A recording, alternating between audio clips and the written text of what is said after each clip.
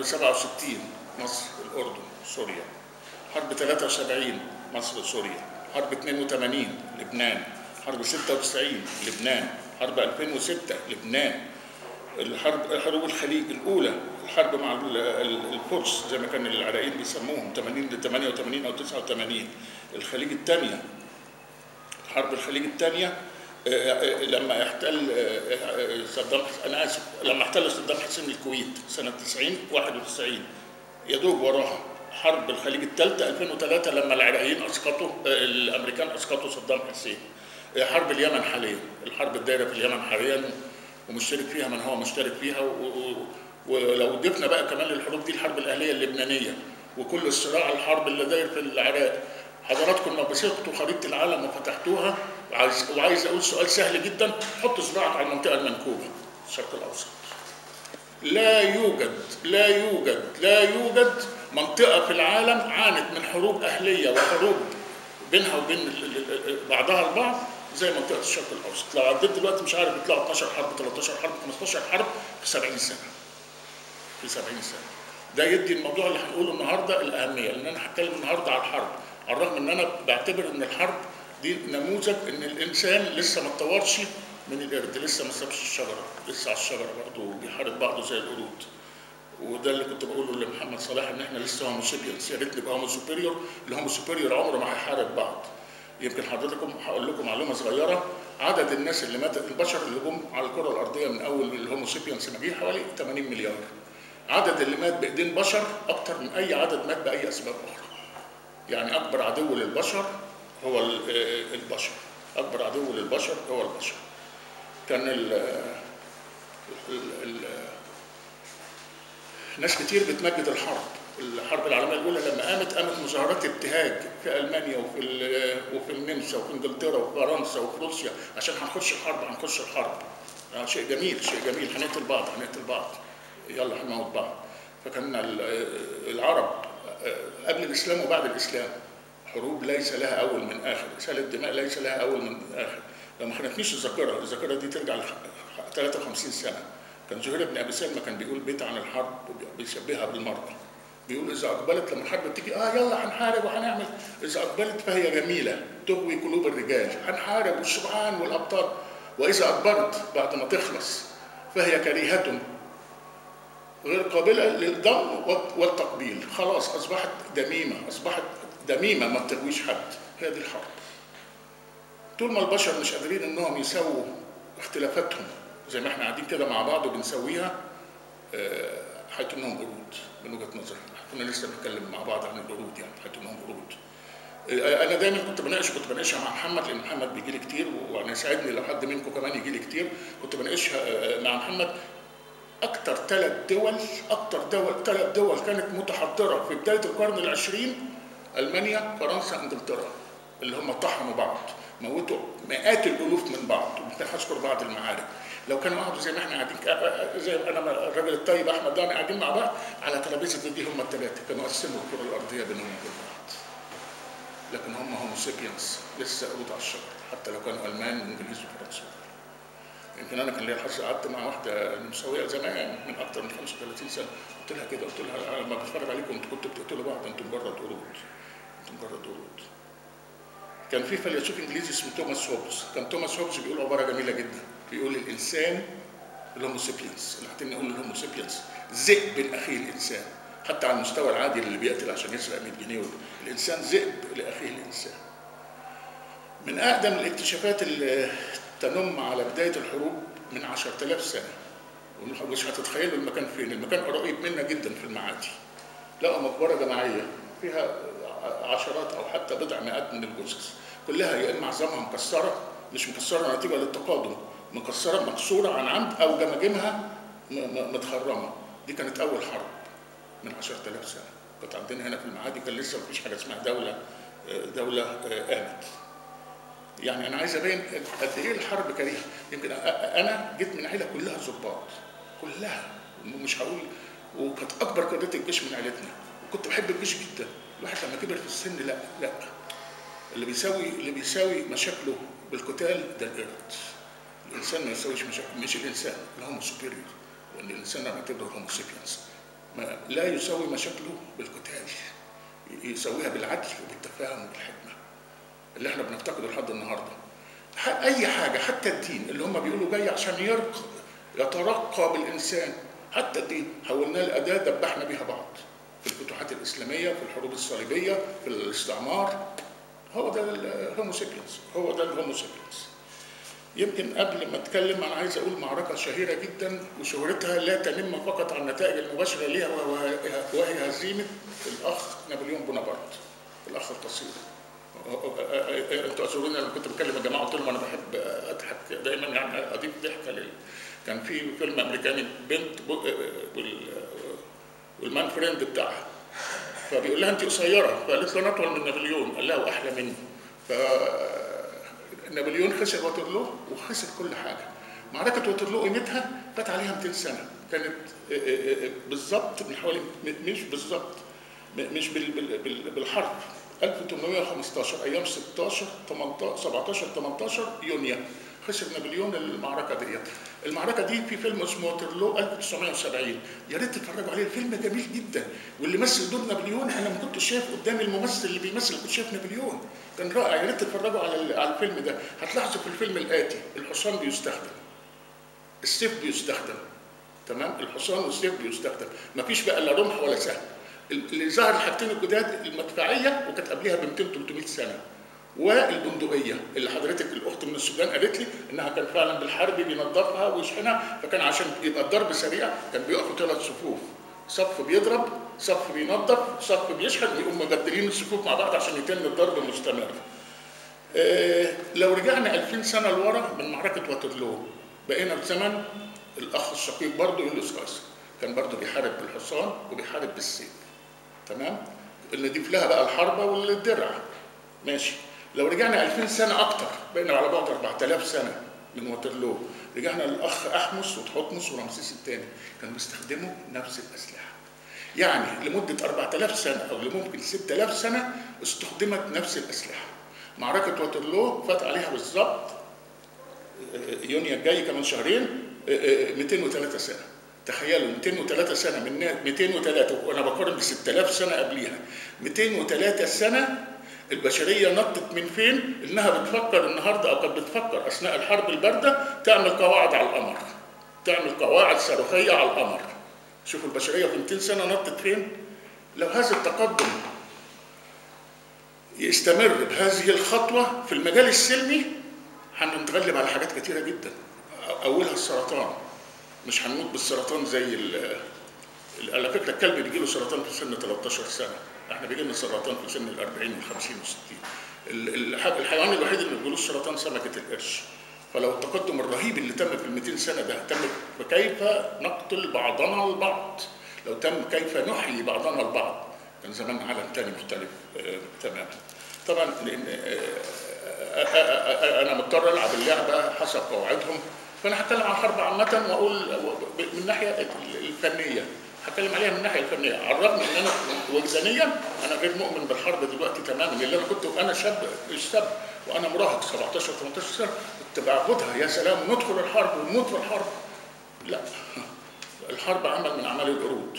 على فكرة القرود بتحارب بعض في الغابة. آه كويس أنت عارف حضرتك آه القرود بتحارب بعض في الغابة وبالعش والكلام ده كله. آه، إحنا امتداد للقرود. وفي حاجات كتيرة جدا على على النت. القرود بتحارب بعض معركه معارك القرود وفي برضه معارك أرضية وجوية بيضربوا بعض على الأرض وفوق الشجر. يعني أنتوا هتزعلوا إن إحنا قرود والله العظيم إحنا ما زلنا قرود إحنا ما زلنا المهم أنا هبتدي أتكلم تكنيكاليتي بحتة بقى خلاص؟ بحاجة أنا اكدت إن أنا ما بحبهاش وما بحترمهاش وما بحترمهاش أكتر لما تكون لأسباب دينية. ما بحترمهاش أكتر. تمام؟ يمكن ال- الأسباب الاقتصادية أفهمها بس مش هحترمها. لكن الأسباب الدينية لا بفهمها ولا بحترمها. المهم أنا كنت سألت الجماعة هنا وإحنا قاعدين قبل ما نبتدي يعني إيه هي العقيدة القتالية؟ العقيدة القتالية هي إطار فكري من سطر اثنين ثلاثة ما يزيدش عن خمسة. بيقول أثناء العمليات بيقول أثناء العمليات إيه الاتجاه اللي هتاخده قواتنا في الشغل بتاعها؟ هتشتغل إزاي؟ والمحاور الرئيسية بتاعتها هتبقى إيه؟ وأعدائها المحت... الحقيقيين مين والمحتملين مين؟ بينتج منها استراتيجية. الاستراتيجية بتبقى أكتر توسع بتتكلم على فكرة على موجود على النت ال- الميليتري دكتوريان ممكن تدخلوا عليه وتتفرجوا لكل جيوش العالم. كاتبة الك- الكلام اللي أنا قلته. لو حصل حرب هيبقى مع مين؟ واتجاهاتنا هتبقى إيه؟ وتسليحنا هيبقى إيه؟ وهنطوره إزاي؟ الاستراتيجية بتبقى أكتر شوية. بتبقى الخطوط العريضة إن إحنا اللي هنمارس بيها القتال سواء الاستراتيجية ليها نوعين ليها أكتر من نوع ليها سياسية وليها اقتصادية وليها عسكرية وقول زي ما أنت عايز. الاستراتيجيه ال- ال- ال- العسكرية بتحط الخطوط العريضة لو بدأنا قتال وحد مثال وحد مثال عشان تكون واضحة. هيتم هيتم إزاي؟ التكتيك اللي هو بقى تنفيذ الاستراتيجية على الأرض الاستراتيجية بيبقى بتتغير بوقت طويل التكتيك بيتغير سريع حسب الموقف. الموقف ديناميكي الموقف الديناميكي كان آه، آه، ايروين رومل القائد الألماني الشهير بيقول اللا قرار أثناء المعركة أنا قاعد أنا قائد وبحارب في المعركة وما خدتش قرار قرار. اللا قرار أثناء المعركة قرار. فالتكتيك لازم نمرة واحد سرعة الحشد. وهحكيها في معركة سيدان. نمرة اثنين مرونة المناورة بالأفراد والنيران، نمرة ثلاثة قوة النيران، نمرة أربعة كثافة النيران، نمرة خمسة دقة النيران. كل الكلام ده بيمارس من خلال التكتيك. لو أنا عايز أدي مثال للعقيدة القتالية عشان تبقى مل- ملموسة هتكلم علينا وعلى إسرائيل في خلال دقيقتين بس هتكلم الأول على الاستراتيجية لأنها كانت مهمة جدا. أول ما الأمريكان آه، استخدموا السلاح النووي روسيا بذلت أقصى جهد خلال أربع سنين وصلت للسلاح النووي آه، معاها. الاستراتيجية اللي قعدوا مستخدمينها لحد رونالد ريجان ما جه كان اسمها MAD M A D mutual assured destruction اللي هو بيقول إن لو حصل إن واحد ضرب الثاني حتى قبله الثاني هيرد عليه والاثنين هيدمروا بعض. mutual assured destruction فكانت دي الاستراتيجية. ريجان ما عجبوش الكلام ده. ريجان قال لا هنعمل حرب النجوم هنعمل ال SDI Strategic Defense Initiation ال Strategic Defense Initiation عبارة عن إيه؟ هنحط أقمار صناعية تلقط الصواريخ وهي طالعة من الاتحاد السوفيتي وهنحط تاني منصات إطلاق ليزر تدمر الصواريخ دهيت دي كانت الاستراتيجية الجديدة. الخط العريض واضح. أنا هنا لو دمرني هدمرك. MAD. mutual assured destruction هنا؟ لا ده أنا هدمرك ومش هديك فرصة تدمرني. هضربك وأنت صاروخك طالع. الاستراتيجية اتغيرت. طيب ندي أمثلة بقى من حياتنا إحنا. وحياتنا إحنا. هقول هرجع لنفسي. أنا كنت قدكم في السن والكلام ده بيحصل أو أصغر منكم شوية. إحنا العقيدة القتالية بتاعتنا من أول أنا وعيت على الدنيا بعد حرب 56 لحد 67 إسرائيل عدونا. لن نستعيد حقوقنا المغتصبة إلا بالكفاح المسلح وهزيمتها في ميادين المعارك. خلاص؟ فأصبح واضح جدا ال- ال- ال- ال- العقيدة القتالية بتاعتنا قبل 67 إيه؟ المشكلة ما حطيناش لا استراتيجية ولا تكتيك. وه- وهشرحها. تمام؟ فحطينا عقيدة قتالية ما حطيناش لا استراتيجية ولا حطينا تكتيك. طب هم؟ ماذا عن الطرف الآخر؟ نحن ده ده دي, دي العقيدة القتالية الإسرائيلية. نحن على أرضنا. وسندافع عنها حتى الموت. ولن نسمح مرة أخرى بعد 48 أن يدور القتال على أراضينا بل يكون على أراضي الخصم. واضح تماما الراجل عايز إيه؟ واضح تمام أنا قلت إحنا قبل 67 لا حطينا استراتيجية ولا حطينا تكتيك. هم الاستراتيجية اللي حطوها كان بيقول إيه؟ لابد نمره واحد من التفوق الجوي على كل العرب مجتمعين ال supremacy مش ال superiority ال supremacy لل air force دي نمره واحد. نمرة اثنين هذا أو استكمال نمرة واحد هذا العنصر حاسم ولا جدال فيه. ال supremacy وليس ال superiority ال supremacy للقوات الجوية. ودقناها ب 67 أ- أ- أنا شخصيا دقتها واتفرجت عليها وإحنا بنتدرب اتفرجت على طياراتهم نقل المعركة من اللحظات الأولى إلى أرض الخصم. مش هحارب على أرضي. نقل المعركة من اللحظات الأولى إلى أرض الخصم. حسم المعركة خلال أيام. للتفوق الجوي من يمتلك السماء ينتصر على الأرض. ده عبارة كان بيقولها الأمريكان في الحرب العالمية الثانية. من يمتلك السماء ينتصر على الأرض. هم عارفينها ومتعلمينها كويس لأنهم كانوا بيحاربوا في الحرب العالمية الثانية مع الحلفاء ده نمرة واحد. نمرة اثنين نقل المعركة لأرض الخصم. ليه؟ لأن ما عندهمش عمق استراتيجي. فمش مستعد ألاقي نفسي بحارب في مدني. لا يا حبيبي أنا هحاربك على أراضيك هحاربك في سيناء وهحاربك في الجولان وهحاربك في في, في سهل الأردن. اللي بعد كده حسم المعركة خلال أيام. أنا مش مستعد أقعد جيشي مدة طويلة لأن أنا الاحتياطي هو الأساس بتاع الجيش وب- وضيع اقتصادي. فيبقى الأسباب معروفة اللي اتخذت ليها الاستراتيجية اتنفذت حققت نجاح 56 67 مش هتكلم على 48 أو 73 و- و- و- و- وهكتفي بكده. طيب إحنا لما جينا نتحرك سنة 67 وودينا 80 ألف عسكري و1000 دبابة وحوالي 900 مدفع كان إيه الاستراتيجية بتاعتنا؟ هل تحرير فلسطين؟ لا لأن المخابرات بتاعتنا كانت عارفة كويس جدا وعبد الناصر كان عارف إن هم أقوى منا يبقى ما كانش دي الاستراتيجية هل دعم سوريا؟ كانت تقدر تدعمها من غير ما تروح لهم وتحط نفسك في أنيابهم هل تخويف العدو؟ العدو مش هيخاف لأنه عارف قدرتك وقدراته فبالتالي هيضربك عشان يستفاد إن أنت جريت شكله يبقى قدام العالم هو آه، راجل بريء. أرجو إن أنا كده أكون وضحت يعني إيه عقيدة قتالية، يعني إيه استراتيجية، يعني إيه يعني إيه يعني إيه آه، تكتيك والجمل اللي بتتكون الجمل اللي بتتكون منه. في حاجتين بيمشوا مع بعض ما أعرفش أنت الناس اللي دارسة فلسفة عارفة اسمه الجدل الهجلي. الجدل الهجلي بيبقى زي ضفيره البنت كده.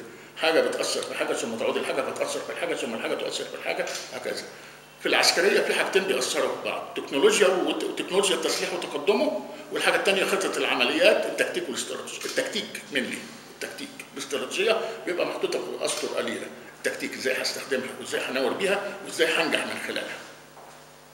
الاثنين دول أنا كنت حاطط إن أنا أتكلم إن إحنا إزاي إزاي هنقدر نقول تطور نظم التسليح كان إزاي لوحده وبعدين إزاي هنقدر نقول تطور نظم القتال تمت إزاي. ما اعتقدش ان الوقت هيسمح لي أقول الاثنين فلو قلت واحدة فيهم هبتدي باللي اقرب ليا لأني عشتها ومارستها ومارستها 30 سنة. تكنولوجيا التسليح. أنا مهندس تسليح. أنا مش مش مش مش ضابط ومش راجل عسكري بس أنا دراستي كلها صواريخ وطيارات. سواء ماجستير من إنجلترا في الصواريخ أو في الطيارات فأنا واشتغلت مهندس تسليح أكتر من 30 سنة. فأنا هكون فاهم كويس جدا بتكلم على إيه. لو الوقت سمح هتكلم بسرعة على العمليات. وإزاي العمليات بتتم؟ إزاي العمليات بتتم؟ إيه أشهر المعارك؟ وإزاي انتصر اللي انتصر فيها؟ وإزاي انهزم اللي انهزم؟ لو إحنا رجعنا للعصور السحيقه والقديمة بقصد بالعصور أنا ابتديت ب 10000 سنة من 10000 سنة. أنا هرجع بقى ال- هنط 4000 سنة هرجع 5300 5500 كان أول المدن اللي بتنشأ عندنا هنا في ال- في البلد الحزين دوت. كانت أول المدن اللي بتنشأ كان الملك مينا وحد القطرين 5300 وأنشأ مدينة منف. كان حاطط لها مواسير بيغذيها بالمية من نهر النيل. وكان آه، أو مجاري عشان المية تيجي من نهر النيل وعمل سور حواليها. أول مرة يتعمل سور حوالين المدينة. أول مرة يتعمل سور حوالين المدينة. بس أنا مش هفوت النقطة ديت. إحنا العرب بعد الفتوح العربية اتعلموا الكلام ده وكانوا بيعملوا أسوار وكانوا بيحطوا برج عشان البرج يشوف من بعيد وعشان يتضرب منه السهام. الأوروبيين ما كانش عندهم النظام ده. خدوه وحطوه عندهم في القلاع بتاعتهم في أوروبا اللي هي القلاع اللي كان المدن بتنشا حواليها بيعيش فيها التجار. وخدوا الكلمة العربية برج إن فيها برج ودي اللي جا منها ساكن المدينة يعني برجواه البرجوازي. جت منها كلمة البرجوازية. جت منها ال- ال- البرجوازية. أنت عملت قلعة وعملت سور برد دايما في التسليح. وده حتى كان أيامنا وإحنا بنشوف الآخرين بيعملوا إيه وبنحاول نرد عليهم المنجنيق عشان تضربها. زي ما قلت في الأول إحنا كنا بنشتغل بالحصان السيف والرمح والقوس والسهم والدرع الصغير بتاع الرمان أو الدرع الكبير. وفي بدايه العمليات كان بيبقى راكب حصان على على اللحم على لحم الحصان. بعد كده عمل السرج بعد كده عمل حاجة مهمة جدا منها تافهة جدا مش هتصدقوها الركاب. الركاب اللي هو بيحط الفارس رجله عليه ويقوم حاطط رجله الناحية الثانية وأثناء الحرب ممكن يقف على الاثنين ويحارب بالسيف وهو واقف. فرق كبير جدا. يصل ضعف أو ثلاث أضعاف لو أنت بتحارب وأنت واقف أو لو أنت بتحارب وأنت قاعد على ظهر حصان أنت واقف على الركاب وبتقدر بقى تحارب وأنت واقف وبتميل والكلام ده غير لما تكون أنت قاعد. اللي اخترعه العرب ال- ال- الركاب. دي كانت العصور القديمة والسحيقة في العصور الوسطى اكتشف البارود الأسود وكان أساسا الصين. اتنقل من الصين للعرب العرب ما استخدموش. اتنقل من العرب لأوروبا ال- كان بداية لنشأة ما يسمى بالبندقية واللي إحنا كنا اتكلمنا عنها من شوية والمدفع البندقية والمدفع خلوا الغرب ما بين سنة 1400 لحد آه، بدايات القرن العشرين يحتل العالم. كان آه، كان ليا واحد كنت أنا أنا اتعلمت في إنجلترا ثلاث سنين واشتغلت مع الإنجليز حوالي 15 سنة. فكانوا بيقولوا لي يعني العالم كان كلنا حوالينا كله نايم وإحنا اللي قايمين. لا خلاص نديهم على دماغهم. وما كنت بقول لهم يعني بقول لهم هم الإنجليز ناس دمسين جدا وأنا كنت بسعد بمعرفتهم وودودين. بقول لهم أنتوا ناس حلوين جدا على المستوى الشخصي و- وناس أي كلام على مستوى الدولة. فكانوا بيقولوا لي الكلمة دي يعني للأسف الواحد زميلي رد يعني فسرها لي بتفسير أكثر الاما على الرغم إن إحنا كنا محتلين. قال اللي يلاقي حمار ما يركبوش يبقى هو الحمار فده هم كانوا بيعاملوا العالم كده اللي يلاقي حمار ما يركبوش يبقى هو يبقى هو الحمار.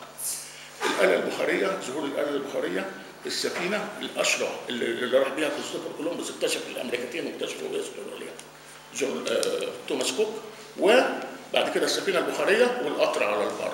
تمام؟ خلاص ابتدوا يتنقلوا من العصور الوسطى للعصور الحديثة. ابتدوا يتنقلوا من العصور الوسطى للعصور الحديثة. المرة تانية آه، عشان أكمل بقى ابتدي أتكلم عن العصور الحديثة اللي هي تهمني أقول بال- في ال 200 سنة لأن زي ما قلت في 6000 سنة ما حصلش غير فيه بندقية ومدفع بارود أسود. في ال 200 سنة اللي فاتوا أنتم اللي شايفينهم، أنتم شايف آه، معركة واترلو اللي اتفرجت عليها وشايف النهاردة المعركة شكلها إيه؟ لو تمت النهاردة ما بنقول كانوا بيرسموا يحطوا صاروخ على القمر، يحطوا قواعد صاروخية على القمر، الولايات المتحدة الأمريكية كانت عايزة تحط آه، آه، قواعد صاروخية على القمر. والتطور ده تأثيره إيه على الاستخدام ال- ال- ال- ال- التكتيكي والاستراتيجي. سنة 1916 كانت فرنسا بتعاني موقف صعب جدا نتيجة لمعركة الفردان. فرئيس رئيس فرنسا كان اسمه بونكرييه كان قريب هنري ال- الرياضي والفيزيائي العظيم في فرنسا. جاب جورج كليمنسون وعينه رئيس وزراء. وحتى هو بيعينه بيقول له لا يعلم إلا الله وحده. كم اكرهك ولكن هذه اللحظة تحتاجك. فرد عليه قال له يا مولاي أو يا يا سيدي الرئيس أنا ابادلك كراهية بكراهية. ولكن عندما تنادينا فرنسا فيجب أن نلبي جميعا. النداء دي شعوب غيرنا ولسه لما احكي قدام. لحد ما هتزهقوا مني وتقولوا لي يعني وتقولوا لي خلاص كفينا. آه، آه، كان بيقول عبارة بقى جميلة جدا الحرب أخطر من أن تطلق قراراتها للعسكريين فقط. يعني قرارات 67 كانت متروكة للعسكريين فقط ما كانش في تدخل من المدنيين السياسيين اللهم إلا سيد سليمان الله يرحمه اللي قال لهم لا ما تنجروش شكل إسرائيل لأنها هنخسر.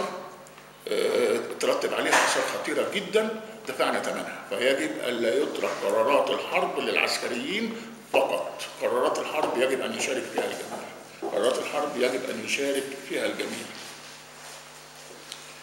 لو أنا بقى عديت واترلو 1815 وبعديها ب 15 سنة ثلاثينات القرن ثلاثينات القرن 19 1832 33 حصل اختراعين مدنيين آه، آه، بالكامل استخدام مدني وهم القطار جورج ستيفنسون في إنجلترا.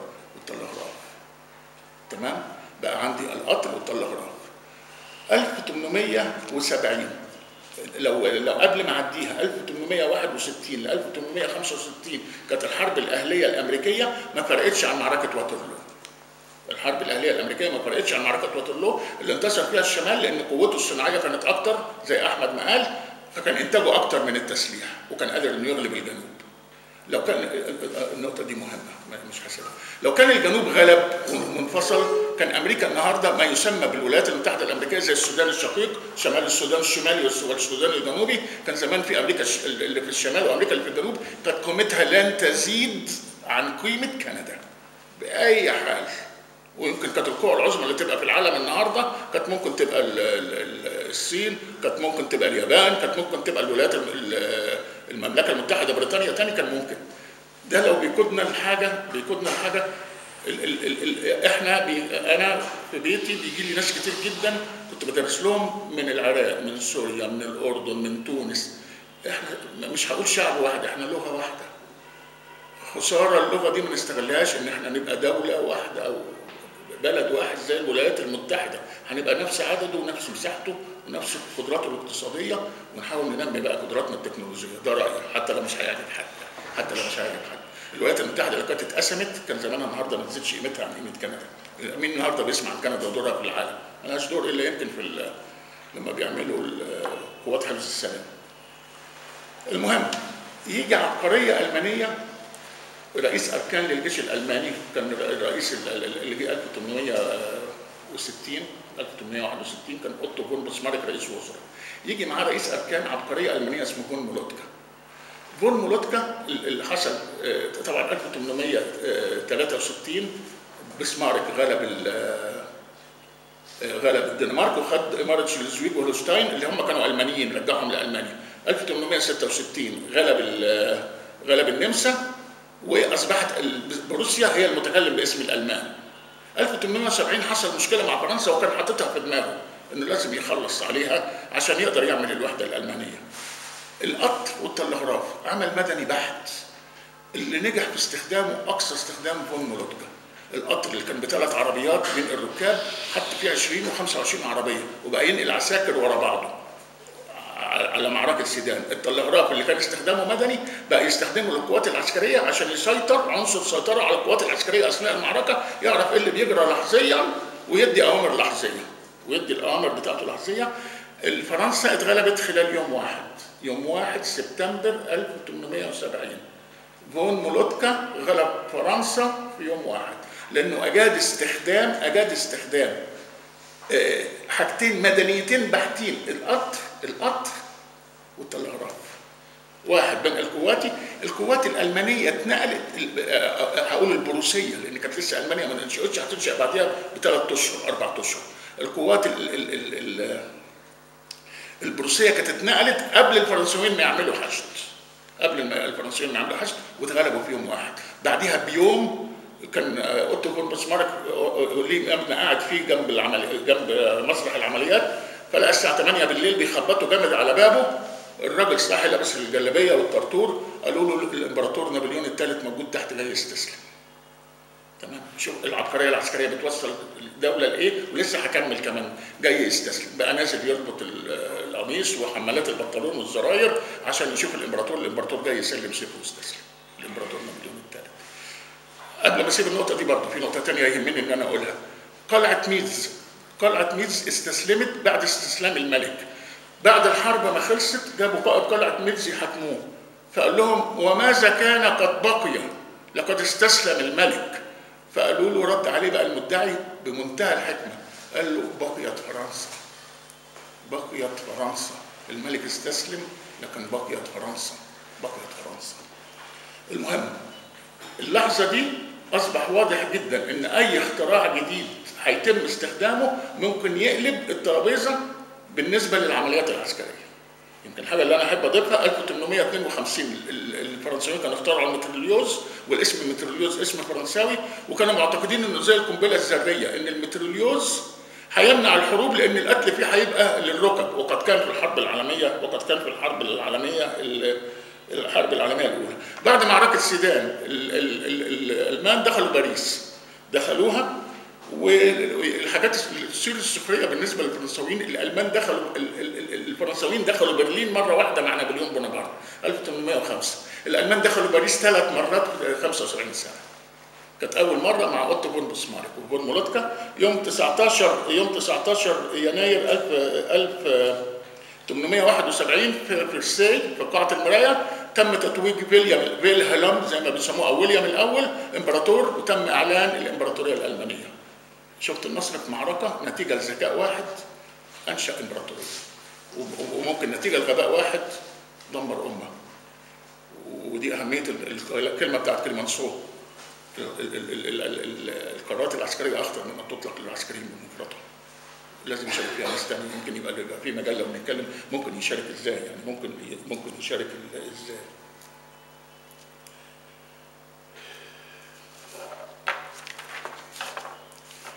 الفترة اللي تمت بقى بين 1871 لحد لحد 1914 يمكن الحاجات اللي ظهرت فيها كتطور ما كانتش كتيرة لكن أهم حاجة ظهرت فيها كانت الغواصة. 1907 كانت الغواصة. الغواصة هتغير مجرى الحرب العالمية الأولى والحرب العالمية الثانية بنسبة كبيرة.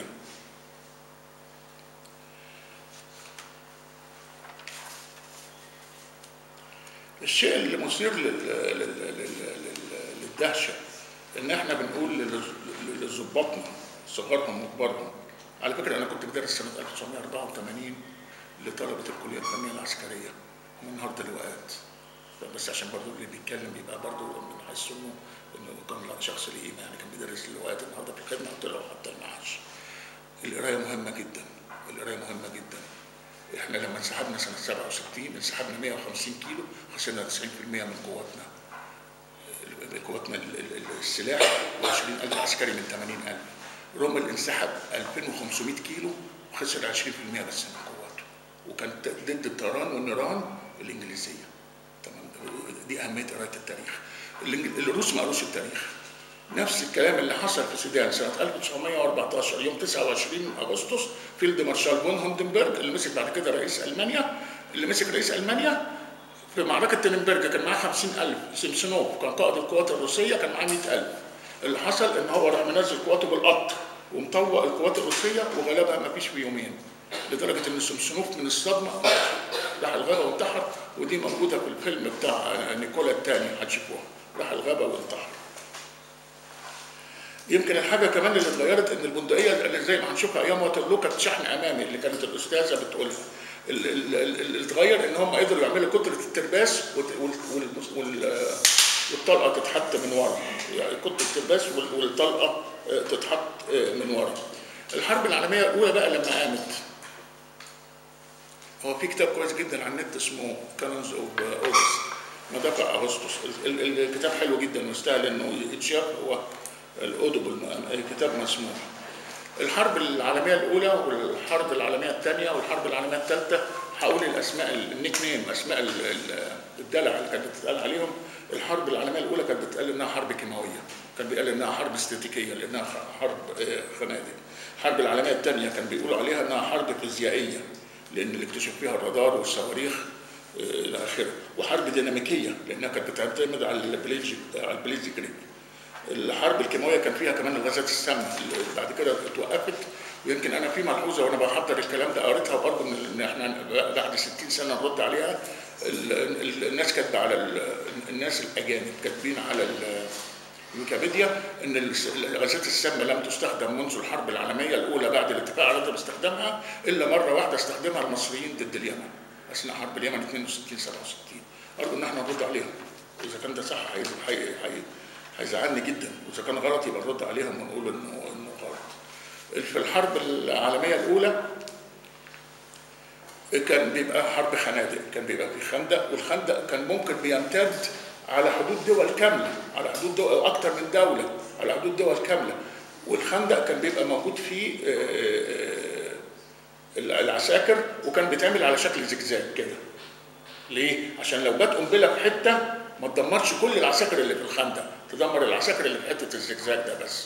كان بيتحط على بعد 40 متر منه أسلاك شايكه الخندق الثاني بتاع العدو كان على بعد 900 متر أو 1000 متر وبرضه قدامه على بعد 40 متر أسلاك شايكه أثناء العدو ما هو بيتحرك وده في الحرب الأولى ودي أنا هعلق عليها كان بيتحرك 900 متر العساكر بتجري شايل البندقية. العسكري عسكري بيجري شايل البندقية وشايل ال- ال- ال- الذخيرة بتاعته. من أول 900 متر البندقية اللي كانت موجودة ساعتها كانت ممكن تصيب وتسبب جرح. لما يوصل ل 400 متر كانت ممكن تبقى قاتلة وهو بيجري لابس السترة العسكرية بس. أنا دي ما كنتش فاهمها ليه ما ادورلهاش على حل؟ لما بيجي يقف بقى عند 40 متر عند السلك الشائك لما بيجي يقف ويبتدي يقصه عشان بيبقى هدف ثابت. كان بيموت نصهم. مات ألوف الألوف نتيجة لهذا التكتيك الغبي. القائد العسكري اللي كان بياخد القرار ده والقائد السياسي كان عندهم دم وضمير إزاي؟ إن الوف الألوف بتموت لأنه بصدر عريان بيواجه واحد في خندق بيضرب عليه وكانوا بيبادلوا على بعض. بيبادلوا على بعض. ده يقتل ده وبعدين ده يهاجم ده counter attack وده يقتل ده.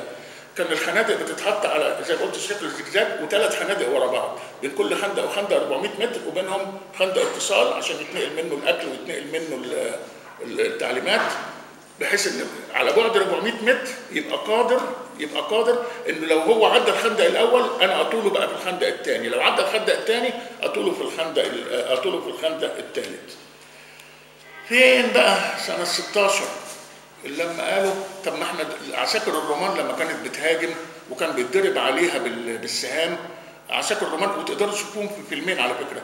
في فيلم بتاع كليوباترا بتاع الفيلم بتاع كليوباترا اليزابيث تيلور تمام. لو هم والاسكندرانية بيهاجموهم في اسكندرية لما حطوا ال- ال- الدروع فوقهم فبقت السهام تنزل على الدروع. وتقدروا تشوفوه في فيلم آه، ال 300 مقاتل آه، سبارتي. وهم برضه بيتدرب عليهم مليون عسكري فارسي بيضرب عليه وهم حاطين الدرع وبيسقط على الدرع. قالوا طب هل نقدر نمسك العسكري درع بحيث الرصاص يجي في الدرع ما يجيش فيه؟ هيجري بيه إزاي؟ قالوا لا ده إحنا بقى نعمل حاجة حديد تمشي قدامه. والضرب يبقى هو متداري منه في الحاجة الحديد لحد ما يتفاجئ العدو في الخندق والحاجة الحديد لما هتمشي قدامه طب ما نحط فيها مدفع رشاش ومدفع. فكان بداية اختراع الدبابة كانت الدبابة. ابتدت 1916 كانت سرعتها من 4 ل 6 ميل حوالي 10 كيلو في الساعة. وكانت كثيرة الأعطال وكانت كثيرة الأعطال. الألمان بعد ست أشهر ردوا وعلى طول خدوا الدرس وعملوا هم كمان وعملوا هم كمان دبابة. إحنا المصريين المصريين أيام كانوا مصريين المصريين أيام كانوا مصريين. خدنا الدرس من الهكسوس وبعديها بضع عشرات من السنين لأن زمانها كان الزمن مختلف. عملنا العجلة الحربية طردنا الهكسوس بيها باحمس بدأ الإمبراطورية بيها تحط عمل الامبراطوريه المصرية بيها. ال- ال- ال- الألمان عملوا لقطوا الدبابة بعد ست أشهر. إحنا لقطنا بعد 10 أو 15 سنة وعملنا العجلة الحربية وغلبناها. النهارده طبعا آه، أنا ما أعتقدش إن إحنا و- ما أعرفش أقول أنتوا بتزعلوا بقى؟ أنتوا حكيتوا أنا ما أعتقدش يعني أنا شاكك في الموضوع. آه، بتضحك أنا شاكك في الموضوع. أنا شاكك لو أنا عايز أتكلم على معركتين كبار جدا معركتين كبار جدا حصلوا سنة 16 معركة السوم معركة السوم أنا عديت على السوم دي زمان سنة 78 وأنا راجع من إنجلترا. وحتى قلت لزميلي اللي كان معايا هنا كان في معركة كبيرة جدا سنة 16 ابتدت يوم 1 7 قبلها بأسبوع المدفعية البريطانية على على كل الجبهة تنتها تضرب لمدة 24 ساعة بدون توقف. وقالوا للعساكر بتوعهم لما هتروحوا مش مش مش هتلاقوا عسكري حي مش هتلاقوا فار حي. الألمان كانوا عاملين إيه؟ كان عندهم الخندق أهو وعاملين خندق تحتيه أول ما ابتدى الضرب نزلوا على الخندق اللي تحت. بعد ما خلص الضرب وابتدى الهجوم طلعوا الخندق اللي فوق. ودول فوقهم بيهم وهم جايين بالطريقة اللي أنا قلتها. ما بين الساعة 7 صباحا والساعة 10 كان في خمسين ألف قتيل إنجليزي قتيل وجريح إنجليزي. المعلق الإنجليزي بيقول لو كانت لو كانت ال ال ال ال- المحطات الفضائية موجودة الأيام دي أيامها كان الإنجليز أوقفوا الحرب في نفس اليوم دوت. كان قبل الساعة 12 أوقفوا الحرب. خمسين ألف إصابة ما بين قتيل وجريح ما بين الساعة 7 للساعة 10 المعركة الثانية كانت معركة فردان، معركة فردان كانت بين الألمان والفرنساويين قعدت من شهر 2 لشهر 11 كل طرف خسر فيها 800 800 ألف بين بين قتيل بين قتيل آه، بين قتيل وجريح من الحاجات اللي, اكتشفت كمان أو اللي استخدمت ال إحنا كنا قلنا البارود الاسود وقلنا البارود عديم الدخان اللي هو النيتروسليولوز النيتروجليسرين كمادة قاصفة. إحنا عندنا نوعين من المواد البارود الأسود أو النيتروسليولوز والنيتروجليسرين وال TNT. ده مادة قاذفة ده مادة قاصفة. يفرقوا إيه؟ لو أنت حضرتك عندك ده عمود حديد وحطيت هنا المادة الق- القاذفة وولعتها هترمي ده 10 متر 20 متر لقدام لكن مش هتكسره. المادة القاصفة مش هترميه متر لكن هتكسره لأنها localized أنا كنت اتفرجت مرة على حلقة من الحلقات عندكم هنا في العلمانيون وكان نفسي أطلع وانط في الشاشة للدكتور خالد منتصر أما كان بيكذب الأسلحة الفاسدة في 48 هو فعلا ما كانش في أسلحة فاسدة في 48 كان في ذخيره فاسدة. ذخيره فاسدة الذخيره لما بتتضرب جوه المدفع اللي بينفجر الجزء القاذف مش القاصف. القاصف بيطلع في الدانة عشان الطبه تضرب على الأرض تقوم تضرب في العدو. الجزء القاصف ده المفروض ما ينفجرش جوه المدفع. طب ليه كان بينفجر جوه المدفع؟ لو حصل لو طالته تغيرات جوية شديدة من حرارة ورطوبة وبرد وحر بيتشقق. لما بيتشقق بدل ما بيتحرق طبقة ورا طبقة بيتحرق كله مرة واحدة فبيدمر المدفع. يعني مع كل الاحترام للدكتور خالد منتصر لا 48 صح مش أنا موافق معاك ما كانش في اسلحه فاسدة كان في ذخيرة فاسدة. وترتب عليها ما ترتب اللي أنا قلته وقلته ليه؟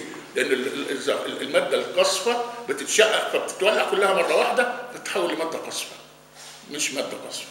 يعني عشان نبقى نبقى عارفينها من الحاجات طبعا اللي استخدمت الغازات السامة استخدمها الأول الألمان.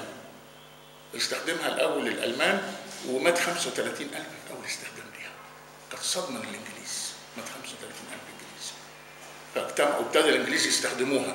فابتدوا يتخذوا قرارات إن إحنا مش هنستخدم الغازات السامة. وتمسكوا وتمسكوا بيها. الحرب انتهت يوم الساعة 11 يوم 11 11 سنة 18 تمام؟ معاهدة فرساي كانت سنة 19 في يونيو اللي هي فرضت على ال فرضت على الألمان ما تعملوش مدافع ما تعملوش بوارج حربية دمروا المدافع اللي عندكم إلى آخره إلى آخره. ما بين الحرب العالمية الأولى والحرب العالمية الثانية كان في كابتن فرنساوي عمل كتاب اسمه Internal Combustion Engine. آلة الاحتراق الداخلي. آلة الاحتراق الداخلي اللي يقرأ الاسم ده يقول ده كتاب في الهندسة الميكانيكية. لا ده كان كتاب لكابتن فرنساوي. الكابتن ده كان اسمه شارل دي جول كان بيقول إيه في الكتاب ده؟ بيقول آلة الاحتراق الداخلي اللي هي بتدور العربية بتاعتنا دلوقتي هتبقى في الدبابة هتبقى في الطيارة هتبقى في الغواصة هتبقى في المركب فلا بد نديها أكبر عناية ممكنة. صدر الكتاب في فرنسا. حضرات الضباط الفرنسيين بيحبوا النبيت ما قروهوش. حضرات الضباط الألمان بيحبوا المعرفة. اترجم ألماني وتوزع على جميع الضباط الألمان. من الحاجات اللطيفة الواحد استنتج منه نتيجة كان اسمه هانز غودريان. هانز غودريان ألماني. كان ال ال ال ال الإنجليز والفرنسيين بيعتبروا الدبابات ملحقة على قوات المشاة. هو قال لا ده الدبابات تبقى سلاح لوحدها وسلاح اختراق. مع الطيران هنحقق نصر كاسح. الفكرة دي ما جت لهمش خالص لحد ما اتغلبوا في في فرنسا في معركة فرنسا 1940 الفكرة دي ما كانتش جت لهم ودي أنا مش متحيز للألمان يعني أنا بحب الإنجليز أنا عشت في وسطيهم وليا صداقات كتيرة جدا معاهم. بس دي العبقرية الألمانية. دي العبقرية الألمانية. اللي استخدم القطر واستخدم الطيارات وبعدين ال ال ال الراجل الثاني اللي قال الدبابة هتبقى منفصلة وتبقى أداة اختراق هي والطيارة. وتبقى دي حرب البليزيجليك كان هانز وتريان اللي كان ظهر في الحرب الأولى في الحرب الأولى وعلى استحياء الاستخدام انه اخترع 1907 الغواصه وابتدت إنجلترا ألمانيا تحاول إنها تصيب بيه المراكب الإنجليزي. في الحرب العالمية الثانية كان سلاح أساسي عشان يركع إنجلترا بحرب الجوع عشان يركع إنجلترا بحرب الجوع. كانت إيه عيوب الغواصة؟ أكبر عيوب الغواصة إنه عشان يشوف بالبيروسكوب كان لازم يطلع قريب من السطح. فكان عشان كده بيشتبك بالليل. لو قعد يوم أو يوم ونص بالكتير لازم يطلع فوق عشان يشحن البطاريات بتاعة الغواصة من خلال محرك ديزل محتاج هواء وعشان يدخل هواء جديد عشان الطقم يتنفس بيه ده تغلبوا عليه في الغواصة النووية وهقولها وهقول إيه لما نبتدي نتكلم على الغواصة النووية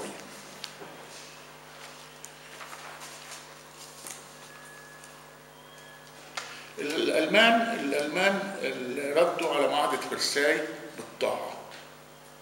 تمام يا فندم؟ سنطيع. بس سنطيع ما كتبته على الورق ومالكوش دعوة باللي بعد كده. الألمان كانوا بيصنعوا المركب المدني بالتجاري وبيحطوا فيها المكان اللي هيحطوا فيه المدفع لما يسقطوا معاهدة فرساي. الألمان قالوا أنتم مش عايزيننا نعمل مدافع هنعمل صواريخ. كان العالم كله ما يعرفش يعني إيه صواريخ. مرة تانية دي العبقرية الالمانيه أنا مرة كنت في ألمانيا فبيتكلموا على العبقرية المصرية.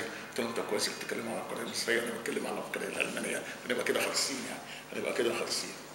فكان ال- ال- المدفع هحل مكانه الصاروخ. ده نمرة واحد. نمرة اثنين أنت بتقول لي ما تعملش مدمرات هعمل مركب تجاري. وهعملها بحيث تنفع تبقى مدمرة وهعمل المكان اللي أحط فيه المدفع ساعة ما نشأت معاهده فرساي وقد كان. لما هتلر أسقط أسقط معاهده فرساي في حاجتين هقولهم ال- الحرب البليتزكريج كانت بتعتمد على إيه؟ اختراق بالدبابات سريع، اختراق بالطيران، ببقى ورا ببقى ورا مراكز الشؤون الإدارية بتاعة العدو، ورا مراكز ال- ال- القيادة بتاعة العدو وبعمل له ارتباك بيسقط بيخسر الحرب. حضراتكم يمكن ما تتخيلوش العظمة بتاعت هذه السياسة في تطبيقها إلا لما تعرفوا إن الألمان غلبوا فرنسا في أربع أسابيع، غلبوا هولندا ثلاث أسابيع، إسرائيل غلبتنا في أربع أيام. لأنها كانت بتستخدم نفس التكتيك، ما حدش عندنا كان الضباط المصريين زي الضباط الفرنساويين قادر يتنبأ إنهم ممكن يعملوا كده، طيب لو ممكن يعملوا كده نرد عليهم إزاي؟ يبقى عندك قوات احتياطي ورا عشان تقدر تتعامل مع القوات اللي هتتحرك وت- وتحصل من ورا. إن أنت تواجههم بحرب م- موازية تعادل الحرب بتاعتهم عشان تربكهم زي زي ما زي ما بيربكوك. الحاجة اللي أضافها هانز جودريان للدبابات حتى لاسلكي بقى أثناء الهجوم بالدبابات قادر يكلم ال- ال- ال- ال- اللواء الدبابات اللواء المدرع بتاعه كله. هانز جودريان في المعركة مع الاتحاد السوفيتي عمل آه، وثبة زي بالت- بالتعبير العسكري 250 كيلو في يوم واحد. 250 كيلو واللي وقفه إنه انفصل عن المشاة فممكن مشاة العدو طوله فوقف يستناها فرنسا لما فرنسا لما اتغلبت في أربع أسابيع كان تشرشل ماسك رئيس وزراء بريطانيا فبيسأل جون دلادييه رئيس وزراء فرنسا بيقول له فين القوات الاحتياطي بتاعك؟ قال له إجابة غريبة جدا ما عنديش قوات احتياطي ما عنديش قوات احتياطي دي فرنسا دي فرنسا ما عنديش قوات احتياطي سنة 18 الفرنساويين جابوا عربية قتل في غابة اسمها كامبيان وأجبروا الألمان يوقعوا وثيقة استسلام في عربية القتل دي. هتلر أصر سنة 40 عربية القتل دي تيجي في نفس المكان ودخل هو فيها واتفرج عليها ويجي الوفد الفرنسي يستسلم فيها. ده, ده بيبين قد إيه قد إيه ال- ال- ال- النزعة الوطنية أو يسموها زي ما أنتم تحبوا. بعد الهزيمة دي ابتدى تشرشل يفوق ده في حاجة مختلفة الناس دي بتستخدمها ضدنا. ابتدى يجيب القاده بتوعه. لو سمحتوا حطوا لي خطط مضادة للي بيحصل. جابوا له خطط. رد عليهم بكلمة واحدة. قال لهم اللي أنا شايفه ده خطط 1914 نوت 1940 أنا شايف خطط 1914 وليس خطط 1940 أنتوا شوفوا الناس دي بتعمل إيه. لو ما كناش هنجاريهم يبقى هنتغلب. كناش هنجاريهم يبقى يبقى هنتغلب ال- ال- الألمان كانوا أول ناس يستخدموا الصواريخ في, في, قتال فعلي. أول ناس يستخدموا الصواريخ في قتال فعلي. عملوا نوعين من الصواريخ V 1 و V 2 V- V- كلمة V جاية من vengeance vengeance بالألماني انتقام. ففي 1 كان عبارة عن طيارة بدون طيار بتطلع وبتنها طيارة لحد ما توصل فوق لندن. الوقود بيخلص بيخلص. بتنزل تخبط في لندن. كان المذيع الألماني بيقول لهم آه، إحنا ما نعرفش إحنا إحنا عايزين نقول لكم الطياره هتقع فين بس ما بنعرفش إحنا نفسنا مش عارفين بس الحاجة اللي هنقول لكم إنها هتقع في لندن يعني هتقع في لندن. المهم الألمان ال- الإنجليز حاولوا يردوا بسرعة حتى مدفعيه مضاده للطيارات على طول الساحل عشان يضربها وهي جاية. الساحل اللي بيحمي جنوب آه، اللي بيحمي جنوب إنجلترا. والطيارين الإنجليز كانوا من الشجاعة جدا. أنا أنا أيام 78 اتعلمت طيران في إنجلترا وطرت هناك كنت مع الطيارين الانجليز وكانوا بيحكوا لي الطيارين العواجيز. كان بيطير جنب الطيار وشفتها بعد كده لما جيت هنا في الأفلام. بيطير جنب الصاروخ. الصاروخ كان مجنح بيطير ويجي يحط جناح الطيارة تحت جناح الصاروخ ويقوم قلبه كده. يقوم الصاروخ خلاص وقع طبعا كانت بتحتاج شجاعة لأن أي غلطة منه ممكن تفجر الصاروخ فيه وين- وينتهي يعني. فكانت كانت محتاجة محتاجة شجاعة منهم. لما ابتدت معركة بريطانيا بعد معركة فرنسا الإنجليز كانوا عملوا اكتشاف برضو نشوف التفكير بيتحرك إزاي. ودي إحنا ممكن بنحسها كنا هنا. وهو بيسمع الراديو هم بيسمعوا الراديو. لما الطيارة بتعدي فوقهم كانت ال- ال- ال- الراديو بيشرشر فقال لك يبقى اذا الموجات الكهرومغناطيسية قادرة إنها تكتشف إن في طيران فعملوا الرادار. لما لما احتل فرنسا آه، آه، هتلر وابتدى يطلع طيرانه منها كان بيسمعوا ال- ال- ال- ال- التصنت الألماني اللي بيسمعوا ال- ال- الإنجليز بيدوا تعليمات واضحة جدا الطيران جاي من الناحية الفلانية بالارتفاع الفلاني بعدد كذا اطلع قبله. فكانوا معتقدين إنهم جواسيس.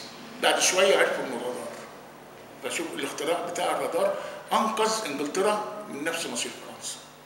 وخلاهم يكسبوا معركه بريطانيا ويغلبوا السلاح الجوي الألماني. ودي برضو قيمة ودي قيمة إن أنت حاجة صغيرة بتفكر فيها بتستخدمها وتنقذ بلد. إحنا 67 فوجئنا باليهود فوقنا وبيضربوا ممراتنا. وبيقول لك أصل إحنا ما كانش عندنا رادار للنقط ال- الرادار للطيران المنخفض. سنة س- اما دخلت الجيش 72 و 73 و 74 كنا حاطين بدل الطيران المنخفض نقط مراقبة بالنظر على الأماكن ال- والمراقبة بالنظر بي على طول بالتليفون أو باللاسلكي بيبلغ الطيران عدى من فوقي. فبيبقى في حلول لكل حاجة. بيبقى في حلول لكل حاجة. بس ال- ال- ال- ال- اللي عايز اللي عايز يفكر. المشكلة بتاعت ألمانيا في الحرب واللي كانت خسرتها الحرب الثانية هتلر حط كل رهانه على الصواريخ سواء V 1 أو V 2 V 2 اللي هو يعتبر صاروخ ballistic حط كل رهانه على الصواريخ. وما حطش رهانه على القنبلة. الأمريكان حطوا رهانهم على القنبلة ما كانوش يعرفوا حاجة عن الصواريخ خالص. لدرجة الصواريخ ال V 2 اللي كانت بتتضرب على لندن؟ لا هم. هم كانوا موجودين بكثرة في إنجلترا ولا الإنجليز كانوا عارفين بيتضربوا بإيه. تخيل دولة في حجم أمريكا وفي حجم إنجلترا مش عارفة بتتضرب بإيه. مش عارفة بتتضرب بإيه. آه، فخسر الحرب. لو كان حط تركيزه على القنبلة يمكن الصناعة العسكرية مهمة جدا. الصناعة العسكرية مهمة جدا وهي اللي بتقود الصناعة المدنية للرقي والتقدم وهي اللي بتحمي الدولة. أي دولة بتشتري أسلحة من الخارج مهما كانت هذه الأسلحة في أعلى درجات التطور ما بتاخدهاش ب- ب- بأعلى درجات التطور ده نمرة واحد. ممكن لو قطع قطع الغيار بيوقفك ده نمرة اثنين فالصناعة العسكرية مهمة جدا. الله يرحمه. المشير عبد الحليم أبو غزالة كان ليه كلمة جميلة جدا. بيقول دولة بدون صناعة صواريخ هي دولة خارج التاريخ. كان ليه تعبير جميل. يقول أنا مش قادر لا أعمل الطيارة ولا الدبابة ولا و- لا الطيارة ولا الدبابة ولا البارجة لكن أقدر أعمل الصاروخ اللي يوقع لكن أقدر أعمل الصاروخ يوقع فدي دي نقطة لازم يعني إحنا نخليها في بالنا. للمرة الثانية الأمريكان والإنجليز سنة 44 45 ما كانوش عارفين لندن بتتضرب بإيه. دول عظمى ألمانيا سبقتها في المضمار العلمي والتكنولوجي لدرجة أن أنا مش عارف إحنا بنتضرب بإيه. وأول حاجة عملوها لما تقرب بهزيمة الألمان بعتوا لجنة اسمها ألسوس. ألسوس باليوناني معناها ثقب الباب عشان تجمع كل علماء الصواريخ الألمان عشان تجمع كل علماء علماء الذرة الألمان. وتجيب كل الصواريخ اللي الألمان ما استخدموهاش لسه عشان ندرسها ونشوف هنعملها إزاي. أنا بقى شفت صاروخ V 2 سنة 78 في كرانفيلد في إنجلترا أنا بعمل ماجستير. والدكتور اللي بيشرح لنا بيقول دي أول ما جبنا الصاروخ ده كان راجل كبير. كنا بنخلي الطلبة بتعمل دكتوراه وماجستير عليه. تاخد الحتة دي وتقول لي بتشتغل إزاي؟ ودي درجة الماجستير. المهم ده يبين أهمية العلم جدا جدا جدا جدا. وعشان كده أنا بقول يا ريت نبقى كل مرة نعمل محاضرة علمية. ده يبين أهمية حاجة تانية مهمة جدا جدا جدا. نقل العلم التكنولوجيا. طول ما العلم علم بس ما بيحققش حاجة لحد ما تحوله للتكنولوجيا لو أنت اكتشفت اكتشاف طبي ما بيقلوش قيمة إلا لو حولته لدواء إلا لو حولته آه، آه، آه، لدواء. الحرب ال- ال- إحنا قلنا الحرب الأولى طلعنا منها بالطيارة والدبابة الحرب الثانية طلعنا منها بالصاروخ والقنبلة وابتدت الحرب الباردة. الحرب الباردة كان فيها الصاروخ والقنبلة الماتش بتاعهم عمل إن أنت تقدر تضرب أي مكان بقنبلة ذرية. واحد. نمرة اثنين ابتدى يتطور حاجة مهمة جدا مدنية ظهرت سنة 46 اسمها الكمبيوتر. ابتدى يتطور. تطور الكمبيوتر ابتدى يطور نوع جديد من الأسلحة اسمه السمارت ويبونز الأسلحة الأسلحة الذكية. انت ممكن تحط ألغام للدبابات ألغام للدبابات. دباباتك لما تعدي عليها ما تضربش فيها ولما دبابات العدو تعدي تضرب فيها. عن طريق جهاز تخاطب. ممكن دي أنا حضرتها سنة 90 وأنا بعمل كنت ماجستير تانية في انجلترا. آه، الصاروخ كنا حاطين فيه ال expert system يمكن ده بداية ال artificial intelligence expert system وهو بيتضرب أنا ما ببقاش منشن على الطياره أنا بضرب الصاروخ لأن في طيارات. طياراتي وطيارات العدو مشتركة. هو عنده صور طياراتي ما بيضربهاش وعنده صور طيارات العدو بيضربها. كنا بنضحك بقى ساعتها يعني. إيه اللي أنتوا بتعملوه دوت؟ إيه اللي بتعملوه فينا ده؟ يعني الصاروخ هو اللي بيميز. دي مش دي طيارتي مش هضربها ودي طيارة العدو. اللي كان ليا صديق إنجليزي كان كان شغال معايا وكان صديق عائلي كمان ليا وكده. فكنت أنا في إنجلترا سنة 90 فلقيته مرة ساعة اللانش بيقول لي تعالى. أنا مش آه، سيبك من اللانش تعالى لأن كل الناس بتطلع الإنجليز كلهم كانوا بيطلعوا عشان يحضروا اللانش هوريك حاجة في الورشة اللي هو شغال فيها. وراني آه، قذيفة بازوكا قد كده. ال head بتاعتها قد كده. ال seeker اللي هو زي الأنتنة بتاعتنا أو الرادار قد كده. قال لي دي بنضربها بازوكا وتطلع ارتفاع 3 كيلو. وهي نازلة قد كده وال head قد كده. بتبتدي تدور على أي جسم متحرك بال Doppler effect. الجسم المتحرك يا دبابة يا عربة مدرعة لما بتضربه من فوق دي أضعف نقطة فيه. لو نزلت لبعد كيلو ما لقيتش جسم متحرك تدور على جسم معدني عشان تضربه حتى لو تحت شجرة لأنه بيبان الجزء المعدني الشجرة ما بتبانش الرادار ما يشوفهاش لكن يشوف الجزء المعدني. قال لي لو كان كمان في نقط في حاجة حاطينها فيه لو الجسم سخن يبقى اتضرب قبل كده فما تضربهوش عشان ما تعملش over killing اضرب الجسم البارد. بعدين قال لي كلمة وأنا هقولها وقال إحنا عندنا مشاكل مالية في إن إحنا نكمله. لو أنت بلغت الناس اللي عندكم وحبوا يكملوا معانا هيقدروا يكملوا يقدروا ينتجوا بالجملة زي ما هم عايزين. فكان ده ال smart weapon وكان ده الكمبيوتر. أنا أنا هحاول إن أنا أشطب سريع.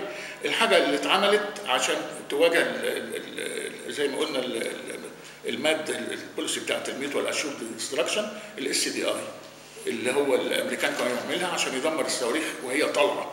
يدمر الصواريخ بتاعته بتاعت الاتحاد السوفيتي وهي طالعة. ويمكن محاولة الاتحاد السوفيتي آه، دمرت اقتصاده إنه يلحق بهذا الكلام وتسببت في استسلامه. يمكن النقطة الأخيرة اللي هقولها قبل ما اقفل الغواصة النووية. إحنا كنا بنقول الغواصة بتقعد يوم أو بعد يوم الغواصة النووية لو افترضنا جدلا إن فيها سامبودي عنده اكله وشربه ومش مهم الهواء هقول بيجي من الهواء ممكن يقعد 10 سنين تحت المية. تاني يقعد 10 سنين تحت المية. المحرك نووي وشوية وقود نووي ما يزيدش عن إيدي كده. ما يزيدش كده أقل. يشغله 10 سنين. الوقود النووي ممكن بيولد كهرباء بتشغل المحرك فتمشي الغواصه ياخد مية البحر يحللها يطلع أكسجين. لو عنده أكل يقعد 10 سنين. الغواصة النووية كانت بتطلع مرة كل ست أشهر لسبب آه، مضحك جدا عشان تمون أكل للطقم. لكن ممكن تقعد الغواصة كانت قيمتها إن لو لو ممكن لو اتضربت منها صواريخ لن يستطيع أحد أن يعرف هي جاية منين. لأن الغواصة على عمق 100 متر أو على عمق حتى 10 متر على عمق 100 متر لا الرادار بيشوفها وتم تغيير المحرك بحيث ما بقالوش صوت ولا ولا السونار بيسمعها. لا الرادار ولا السونار آه، شبح وتضرب صاروخ. طب بتعرف إزاي الأوامر؟ كانت بالليل بتطلع جهاز لفوق بيلقط لو جاي له أوامر اضرب أو غير الكورس بتاعك غير المسار إلى إلى إلى, إلى آخره. آه، المهم يعني أنا أرجو إن أنا أكون عرضت بس بالنسبة لحضراتكم فكرة سريعة. كان المفروض أنا نفسي أجهدت وأنا حاسس إن أنتم كمان أجهدتوا إن أنا أتكلم على ال- العمليات العسكرية وكده. لو هيبقى في فرصة ثانية هتكلم عليها عشان ندي فرصة لحضراتكم للأسئلة. وأنا متشكر جدا لحضراتكم والانصاتكم والاهتمامكم بموضوع جاف زي هذا الموضوع. لو إن هو بالنسبة لي ممتع بالنسبة لكم. إيه، آه، يعني دلوقتي ممكن اللي أنا اعرفه انه ست جيوش تقريبا أنا ما سمعتش إيه سورس ان كان في ذخيره فاسده في 48 يعني هل في مصدر معين من المذكرات مثلا؟ لأنه اللي أنا اعرفه ان دول حوالي خمس مواجهه جيش واحد اللي هو الجيش الإسرائيلي. واللي أعرفه تاني آه، ودي معلومة مش متأكد منها إن هما بينهم وبين تل أبيب كان الفاصل كام كيلو؟ وغالبا كان عيد الأضحى أو عيد الفطر وهم ارتكنوا للهدوء فالجيش الإسرائيلي بغتهم وده كان سبب رئيسي في خسارة الحرب في 48 أقول ماشي. أنا ما قلتش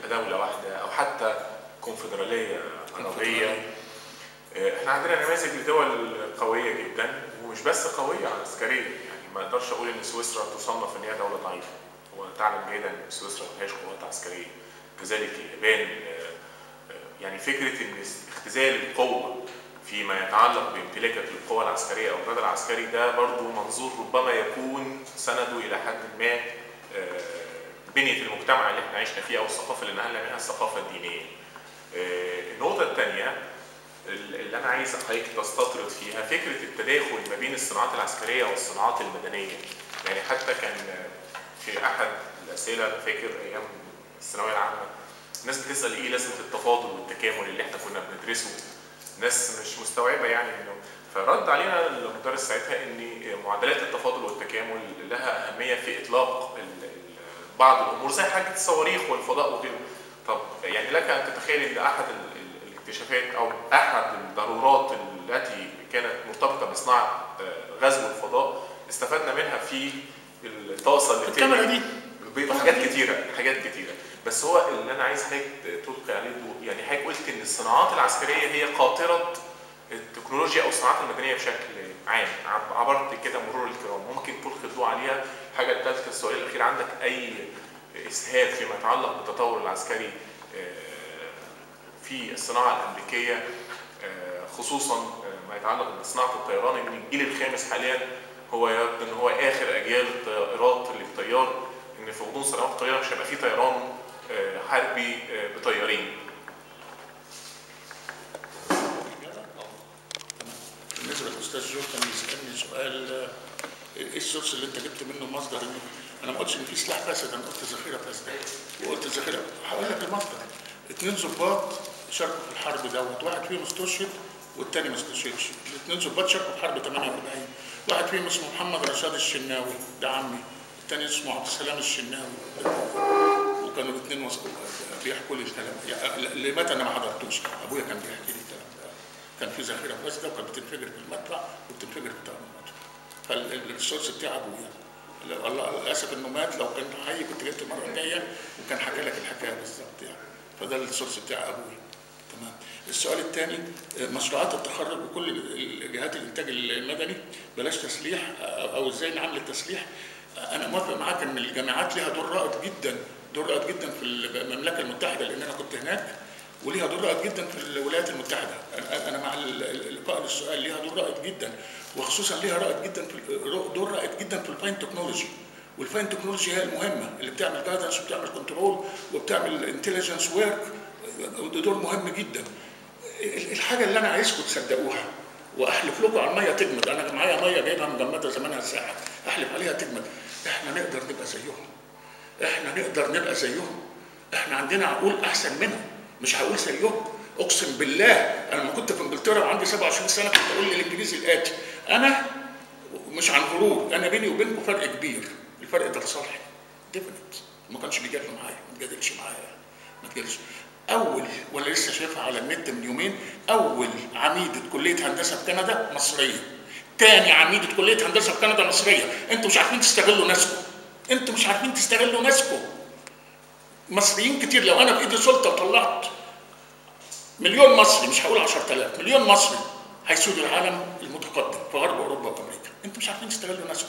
الإجابة آه إحنا نقدر نعمل تكنولوجي آه نقدر نعمل كل حاجة اللي إحنا ما بنعملش ليه؟ عشان ما بنعملش. ما أعرفش دي إجابة ولا مش إجابة ولا هروب من الإجابة. لأن مرة واحدة قال لي أنت جبان من اللي بيرد. مرة بيقول لي إيه في الوضع الحالي كده؟ قلت لهم لا أنت شايف إيه؟ قلت لهم مش شايف حاجة. فقال لي أنت جبان. فما أعرفش تعتبر الإجابة دي بحد برضه يقول لي أنت جبان. إحنا نقدر نعمل. ليه ما بنعملش؟ عشان ما بنعملش. وحط بقى اللي أنت عايز تحطه بعد كده. السؤال اللي, بيقول وسؤال كويس. الحرب الباردة أقوى أو الأم المسلحة؟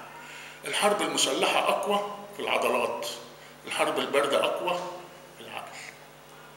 والعضلات كسبت الألمان مرتين على الرغم من الألمان أقوياء والعقل كسب الاتحاد السوفيتي سنة 91 فالحرب الساخنة حرب عضلات. ما أقصدش بالعضلات العضلات يعني أقصد بالعضلات التسليح والذخيرة الحرب الباردة كان فيها تجسس كان فيها اعلام كان فيها كان فيها حاجات كتيرة جدا كان فيها احتواء كان فيها حاجات كتيرة جدا. فالحرب ال ال ال ال الساخنة حرب عضلات كسبوها ولاد جنية.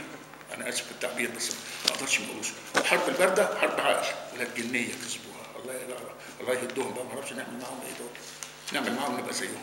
ده الحل نعمل معاهم نبقى زيهم. وقادرين إن إحنا نبقى زيهم.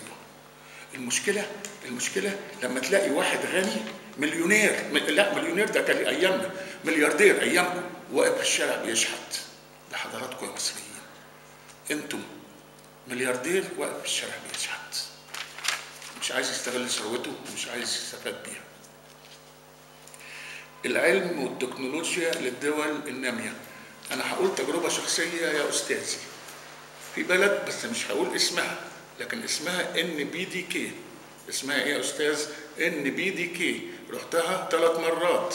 اتفرجت على دولة في أعلى درجات التخلف الاقتصادي والسياسي وفي أعلى درجات التقدم الصناعي العسكري. وهي الآن تسبب قلق شديد جدا للولايات المتحدة الأمريكية.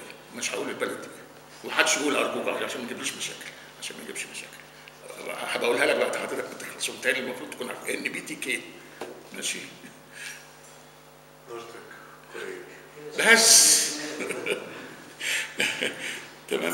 ال- ال- ال- التجارب التاريخية بالنسبة للوحدة أنا أنا ما أقصدش بالوحدة مجرد القوى العسكرية ده. أنا أول ما ابتديت كلامي قلت أنا لما كبرت في السن بقيت أحتقر استخدام العنف لحل المشاكل.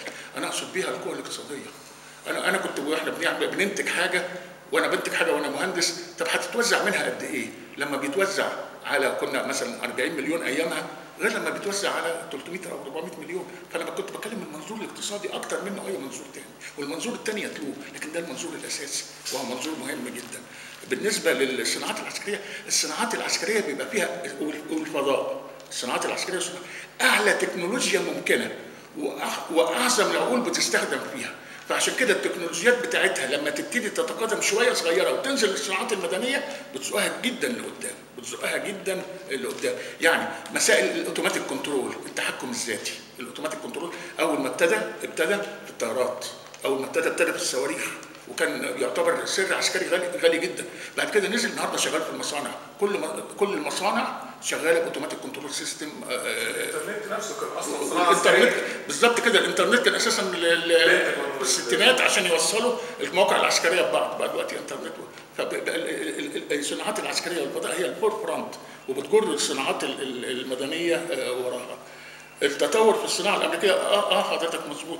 هو مش هيحتاج خلاص إنه يستخدم يمكن دي أنا ما لحقتش إن أنا أقولها ال- ال- ال robot technology. إن هو خلاص بقى عنده روبوت حتى هيبقى عسكري مشاه مش مجرد في الطيارة. الروبوت هيبقى عسكري مشاه وقادر بيشوف وقادر بيتخذ قرار. هقوله في المرة الجاية يعني خلاص خدت واحدة بقى مش كده؟ الثلاث الأخير من كل شهر زي أم كلثوم الخميس الأول من كل شهر. تمام؟ ولو قلت عن أم كلثوم مشيني قول لي لا ما هقوله في في ال artificial intelligence هقول عسكري مشاه انت شايفه عسكري بس هو آه، روبوت. هو روبوت. وطبعا غير الاجهزه الرؤيه الليليه غير الطيارة اللي ما بيشوفهاش الرادار غير غير غير غير آه، حاجات كتير. أنا كنت أتمنى طبعا إن أنا أكمل الحاجات اللي هي ال- القتالية نفسها. كنت أتمنى أكمل الحاجات القتالية نفسها. يمكن من الحاجات اللي أنا عايز أقولها آه، يعني في فيلم مرة تانية بيقولوا واترلو 1970 عشان خاطري والله العظيم موجود على النت واتفرجوا عليه. في معركة واترلو 1970 ال- نابليون كان دايما نابليون كان بيقود المعركة ورا الجيش عشان يبقى شايف الجيشين ويدي أوامره. فالانجليز هجموا بالفرسان بتاعتهم على المدفعية بتاعته. وهم بيهاجموا على المدفعية بتاعته بيعملوا الآتي. بيجيب بار حديد صغير كده. أنت عارف المكان اللي الخرم اللي في المدفع اللي كانوا بيحطوا فيه زمان التورش؟ عشان ينفجر ويطلع الطلقة. ويقوم داقي الحتة الحديد فيها يقوم المدفع ما بقالوش استخدام. حلني بقى على ما تجيب متقاب عشان تتقب وتطلع على الحتة الحديد. تمام؟ فهو شاف ال- الفرسان الإنجليز رايحين عشان يعملوا الحركة دي. هو فاهمها فقال لل- للقائد بتاعه قال له ال- ال- الناس دول الناس دول ما لهمش ماتش ال- ال lancers. lancers اللي هم حاملي الح- الحراب كانت المدفعية موجودة هنا الأرض منخفضة كده وحاملي الحراب تحتيها. حاملي الحراب أول دول كانوا قرب المدفعيه طلعوا لهم. دمروا الفرسان الانجليز حد يقول لي دي دي حاجة بسيطة جدا.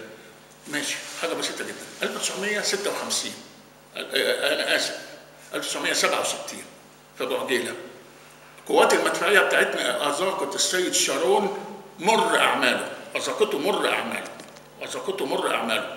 السيد شارون بالليل بعت قوات خاصة ما دمرتش المدفعية دمرت أطقمها. لو كان في قوات خاصة موجودة زي نابليون من 150 سنة ما كان حاطط اللانسر ما كانش قواتنا ال- ال- ال- ال- الضباط المدفعية وعساكر المدفعية بتوعنا اتدمروا بالقوات الخاصة ال- الإسرائيلية. فدي نفكر فيها. 73 عدنا نفس الغلطة. صواريخنا بتاعت الدفاع الجوي ما كانش ليها حماية أرضية. لما عدوا ابتدوا يطولوها بالدبابات بتاعتهم. فيبقى بتبقى في حاجات صغيرة جدا في المعارك اللي بيتعلمها بيستفاد بيها. لو إحنا بنتكلم على أكبر معركة دبابات في التاريخ 4000 دبابة من كل جهة. معركة كورسك يو- 7 يوليو لو ما خانتنيش الذاكرة يا 7 يا 5 1943 كان فيها 4000 دبابة 4000 دبابة سوفيتية قصد 4000 دبابة ألمانية. وأنا بتفرج على الفيلم أول ما اشتبكوا مع بعض افتكرت أبويا الله يرحمه هقول كان قال إيه؟ أبويا طلع معاش لواء 1 يناير 67 ما حضرش حرب 67 وحتى كان اياميها زعلان جدا انه طلع معاش فكانت عمتي ولا كان عمي استشهد في 48 كانت عمتي تقول له بركه يا أخويا إنك طلعت على رجلك مش زي أخوك على ظهرك المهم فلما اشتبكوا مع بعض أنا سمعت المعلق بيقول الآتي بيقول لحظة الاشتباك توقفت المدفعية من كلا الجانبين عن الضرب لأنها تضرب قواتها. واحد. نمرة اثنين الطيران توقف عن الضرب لأنه ممكن يضرب قواته. فكان أبويا بيقول اللي حصل فينا 67 لحد يوم أو اثنين لما نجيب طيران كنا ندخل نشتبك اشتباك مباشر معاهم على طول سواء بمشات بتوعنا أو بدباباتنا. كان هيبقى صعب جدا إنهم يتعاملوا معانا بطيران. المهم بقى كان هو صح أو غلط فالمهم دي كانت معركة كورسك وكان ده الدرس اللي, اللي, متاخد من من المعركة بتاعت معركة كورسك. يمكن كان برضه موجود على النت وارجو بس معلش أنتوا مش تخصصكم عسكري يعني مش هيبقى هممكم. أنا هممني الكلام ده لأن أنا كنت شغال في السلاح فعشان كده هممني. بس أنا بقول في 15 حلقة باللغة العربية. 15 حلقة باللغة العربية موجودين على قناة الجزيرة. جميع أنواع العمليات العسكرية اللي ممكن اللي ممكن تكون آه، ال- الناس على إنها تقوم بيها. زي وحدي مثال المعركة الدفاعية زي المعركة الهجومية زي المعركة البحرية زي المعركة الجوية زي السيادة الجوية. وأنا كنت مركب وكاتب الحاجات اللي هو قايلها. زي الحرب الهجومية وإمتى استخدمها زي عمليات التطويق والحصار زي عمليات اله- الهجوم والإنزال من البحر وشرحها بال- بالتفصيل زي القصف الاستراتيجي. زي الطيران بتاعنا يعمل استراتيجي الطيران بت- بتاع somebody يعمل استر- استراتيجي ل somebody.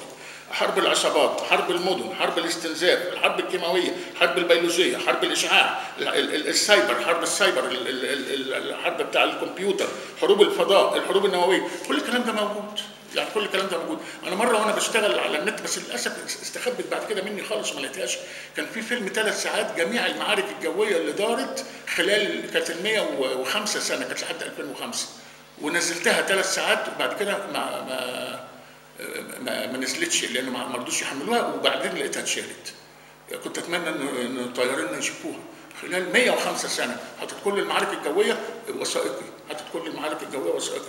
أنا بقول إن على النت حاجات كتيرة جدا. أرجو إن يكون الناس اللي بتستفاد بيها. أنا ما أعرفش ما أقدرش ادي حكم.